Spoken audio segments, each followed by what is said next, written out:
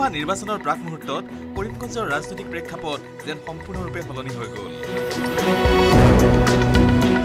কৰিমগঞ্জ লোকসভা সমষ্টিৰ অন্তৰ্গত দুখন জিলাত নোহোৱা হৈ গ'ল এজনো কংগ্ৰেছৰ বিধায়ক। ইয়াৰ লগে লগে উত্তৰ কৰিমগঞ্জ সমষ্টিৰ কৰিমগঞ্জ চহৰত কংগ্ৰেছৰ অস্তিত্ব প্ৰায় শূন্য হৈ পৰিল।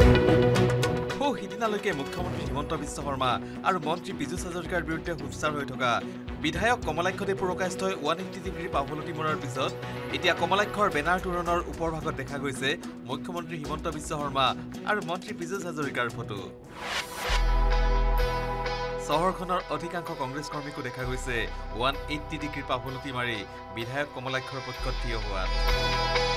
বিধায়কগৰাকীৰ দৰে তেওঁলোকেও উন্নয়নৰ লক্ষ্যত ৰাইজৰ স্বাৰ্থত চৰকাৰৰ পক্ষত বুলি শ্লোগান লিখি এতিয়া কমলাক্ষক সমৰ্থন জনাই তেওঁক আদৰণি জনাবলৈ কৰিমগঞ্জ চহৰত এইদৰেই লগাইছে বেনাৰ আৰু তোৰণ।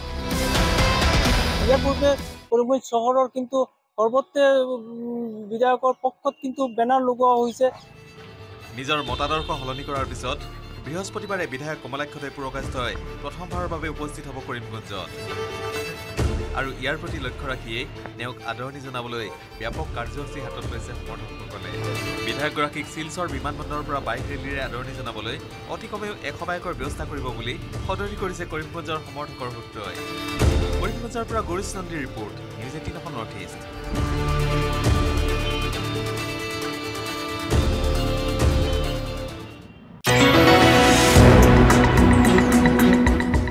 Lok Sabha নিৰ্বাচনৰ প্ৰাক মুহূৰ্তত কৰিমগঞ্জৰ ৰাজনৈতিক প্ৰেক্ষাপট যেন সম্পূৰ্ণৰূপে সলনি হৈ গ'ল।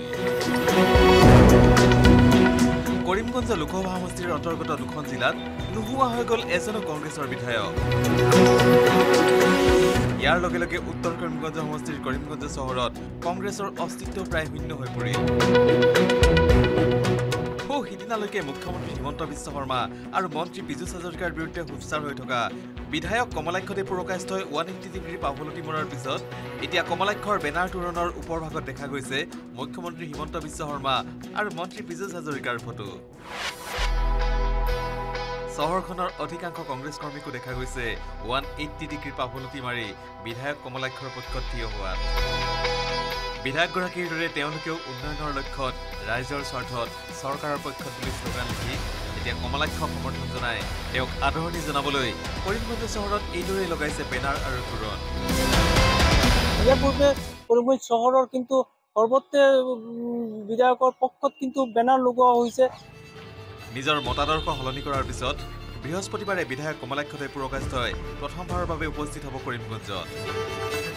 আৰু ইয়াৰ প্ৰতি লক্ষ্য ৰাখিয়েই তেওঁক আদৰণি জনাবলৈ ব্যাপক কাৰ্যসূচী হাতত লৈছে সমৰ্থকসকলে বিধায়কগৰাকীক শিলচৰ বিমানবন্দৰৰ পৰা বাইক ৰেলীৰে আদৰণি জনাবলৈ অতি কমেও এশ বাইকৰ ব্যৱস্থা কৰিব বুলি সদৰি কৰিছে কৰিমগঞ্জৰ সমৰ্থকৰ সূত্ৰই।